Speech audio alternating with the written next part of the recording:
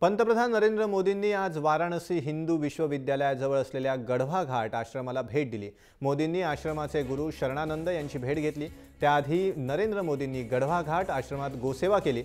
यावेळी संतांनी पंतप्रधानांना घातलेल्या रुद्राक्षाच्या माळेनं सगळ्यांचंच लक्ष वेधून घेतलं. गढवा घाट आश्रम हे यादवांनी स्थापन केलेलं मानलं जातं. यादवांची या आश्रमाबाबत विशेष श्रद्धा आहे. या आश्रमामध्ये अंदाजे एक कोटीहून भाविक अनुयायी आहेत. त्यामुळे राजकीयदृष्ट्या ही भेट महत्त्वाची मानली जाते. दरम्यान मोदींनी लाल बहादूर शास्त्री यांच्या निवासस्थानी सुद्धा भेट दिली.